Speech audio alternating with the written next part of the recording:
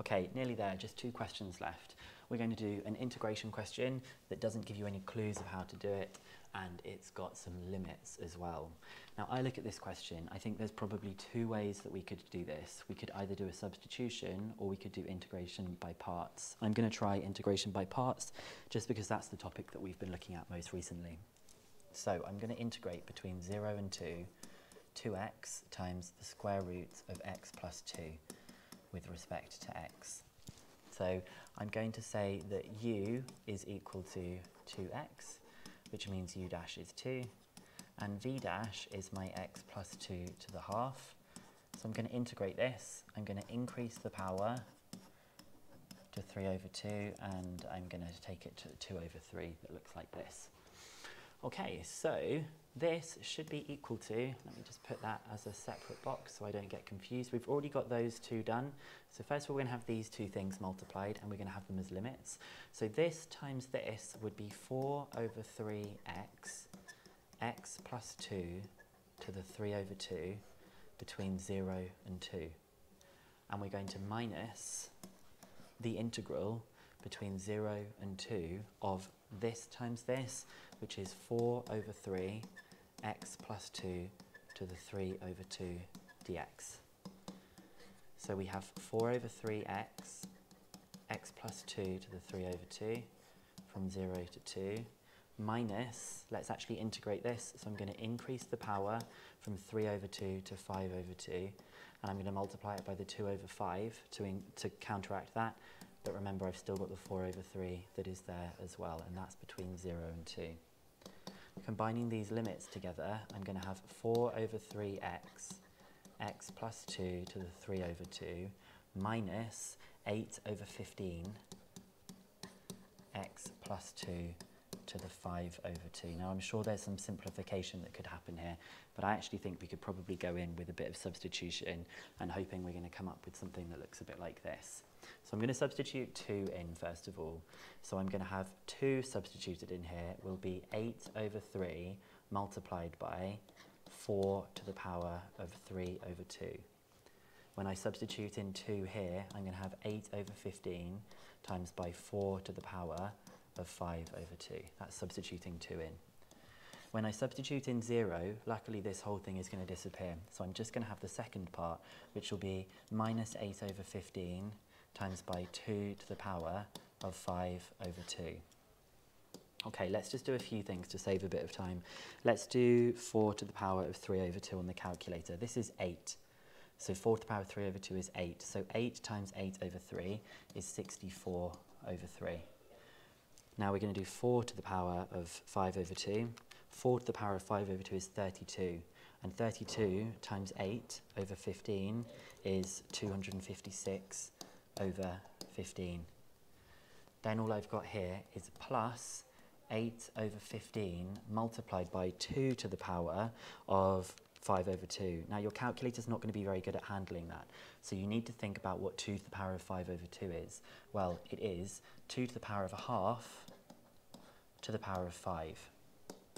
So I've got 64 over 3 minus 256 over 15.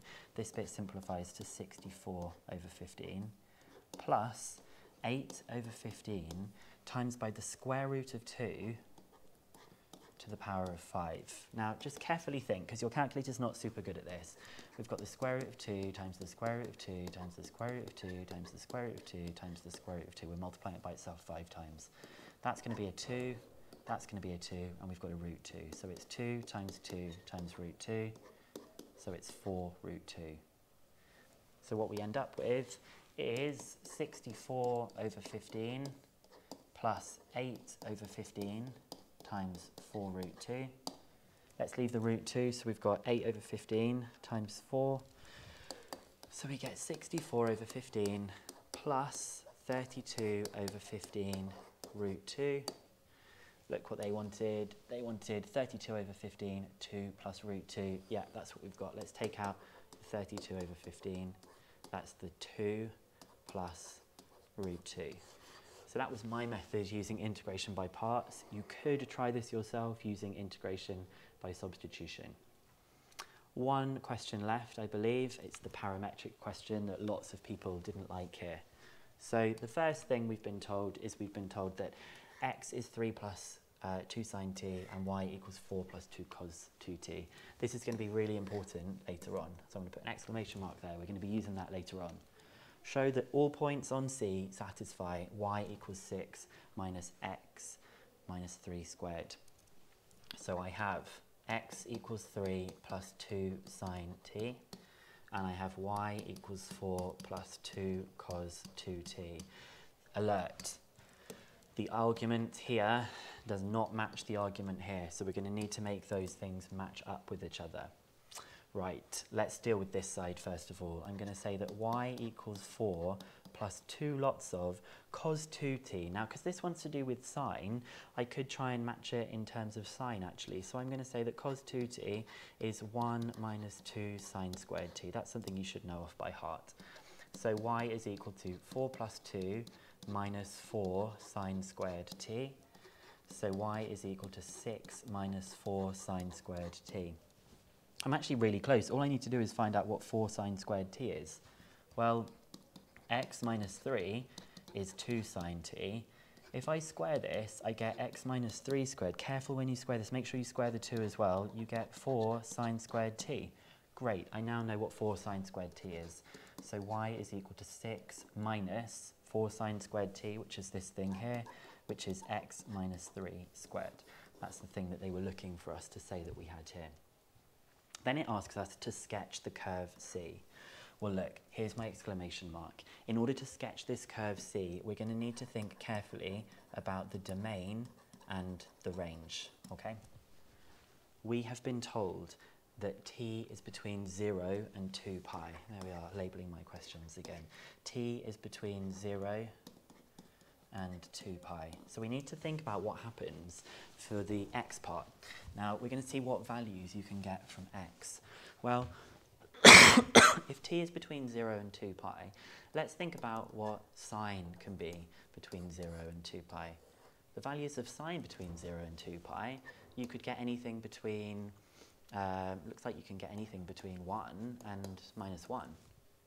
So if I'm going to try and build it up to make it look like this, I could see that 2 sine t, I could get any value between 2 and minus 2. And if I add 3 to that, so I get 2 sine t plus the 3 to make it look like x, I would get that x can be between, adding um, 3 to both sides, uh, 1 and 5. So this is telling me this thing which is x can be anywhere between 1 and 5.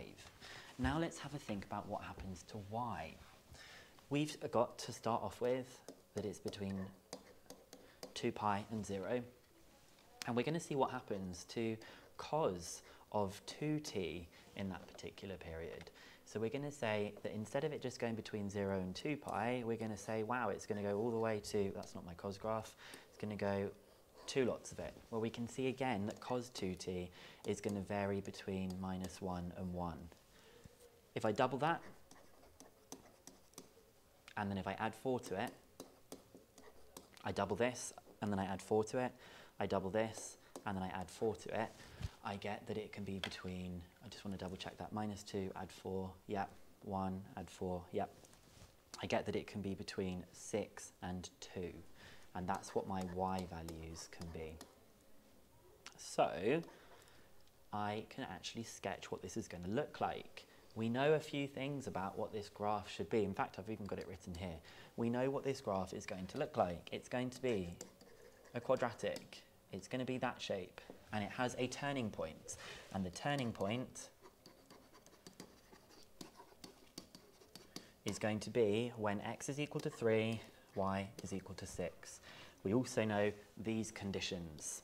So let's get all of this put onto a sketch. The turning point is at 3, 6. So I'm going to put my turning point there. x, though, can only be between 1 and 5. y can only be between 2 and 6. Now, when x is 1, if you look at this, you get 1 minus 3 squared, which is 4. Y is 2. So you get this part here. When x is 5, you get 5 minus 3 squared, which is 4, and you get 6 minus 4. which is 2. So the only part of the parabola that you actually get, the only part of the quadratic that you get is this particular part because the domain is between 1 and 5 and the range is between 1 and 6. Okay, this is more important than this one in helping us to sketch it. It says, sketch the curve C. So there we go, for two marks, we've sketched that correctly.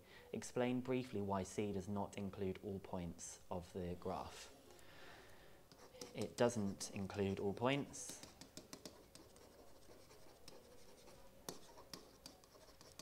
because of the restriction on the parameter t, which says that t is in between 0 and 2 pi. And we've got enough reasoning here to show the examiner what we're talking about. Very difficult last question.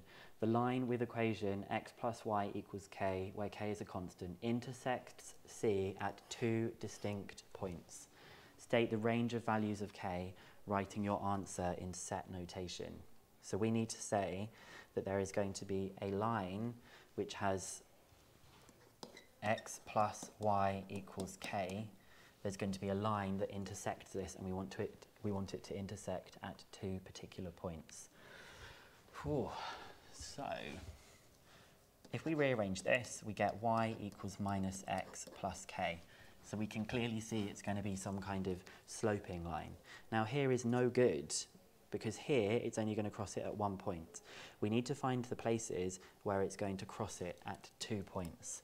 Now it looks like it's going to cross it at two points there and the last place, in fact, where it crosses it at one point is there. Now this line is going through this one endpoint here and it's definitely going to go through this point here. So this coordinate is 5, 2. So when x is 5, y is 2. So we get 2 equals minus 5 plus k.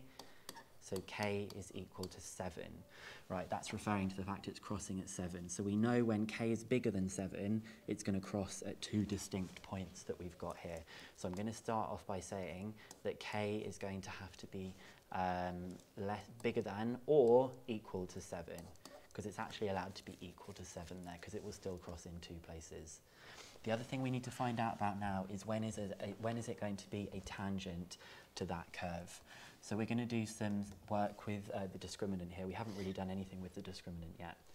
So I want y equals minus x plus k and my other equation, which is y equals 6 minus x minus 3 squared. I'm going to solve these things and find out what the discriminant is for their solution. So I'm going to make these two things equal. So that's 6 minus x minus 3 squared equals minus x plus k. So that's 6 minus x squared minus 6x plus 9 equals minus x plus k. So that's 6 minus x squared plus 6x minus 9 equals minus x plus k get this all onto one side with 0. So I'm going to say I've got x squared if I'm putting it onto this side. Um, and I'm going to minus the 6x here, so that's minus 7x. And then I've got 6 minus 9, that's minus 3, so that becomes plus k plus 3. Let me just double check I've done that right. So that's, yep, yep, that's good. Now, I want this to just be a tangent, so that means I'm going to want b squared minus 4ac to be equal to 0. So b is minus 7, a is 1, and c is k plus 3. So I'm going to get b squared, which is 49, minus 4 times a times c. I want that to be equal to 0. So 49 minus 4k minus 12 is equal to 0. So 4k is equal to 37 so k is equal to 37 over 4. So when k is 37 over 4, we get the tangent. And remember, that's going to be referring to 37 over 4 up here. We need k to be less than that, so it intersects inside this region that we've got here. So the bit we're going to say is we want k to be less than. It can't be equal to it, because if it's equal to it, it's going to just be crossing it at one place. So the two things we need to combine are this and this, and we're going to put that together using set notation. So in set notation, we can say that the solutions are k such that k is greater than or equal to 7 and less than or equal to 37 over 4. A very challenging question to set out um, a full understanding of equations and graphs, really. So if you've got all this way, well done everyone, um, and I will see you soon.